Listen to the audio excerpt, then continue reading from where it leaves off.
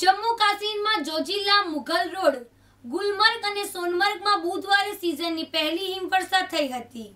ગુલમર્ગમાં minus zero point five degree લેહમાં minus ચાર point સાત, કારગિલમાં માઇનસ બે પોઈન્ટ ચાર ડિગ્રી તાપમાન નોંધાયું હતું. હિમવર્ષાને કારણે ચારસો ચોત્રીસ કિમી લાંબો શ્રીનગર લેહ નેશનલ હાઈવે અને છ્યાસી કિમીના મુઘલ રોડને બંધ કરવામાં આવ્યો છે.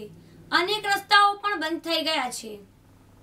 સરહદી રોડ સંગઠન જુદા જુદા સ્થળે મશીનોથી બરફ હટાવવાની કામગીરી કરી રહ્યું છે. જમ્મુ કાશ્મીર હવામાન વિભાગના નિર્દેશક સોનમ લોટસે જણાવ્યું હતું કે, ક્ષેત્રમાં વેસ્ટર્ન ડિસ્ટર્બન્સ સક્રિય થયું છે. મહા વાવાઝોડાની પણ અસર થઈ છે. જેના લીધે જમ્મુ કાશ્મીર અને લદ્દાખમાં ત્રણ દિવસ મધ્યથી ભારે હિમવર્ષા અને વરસાદ પડી શકે છે. જ્યારે હિમવર્ષાને કારણે ઉત્તર ભારતના રાજ્યોમાં ઠંડી શરૂ થઈ ગઈ છે. ઠંડા પવન પણ જલ્દી શરૂ થઈ શકે છે. હિમાચલ પ્રદેશના રોહતાંગ, કુલ્લુ અને મનાલીમાં ત્રણ અને ઉત્તરાખંડના કેદારનાથ, બદ્રીનાથમાં બે દિવસથી હિમવર્ષા થઈ રહી છે.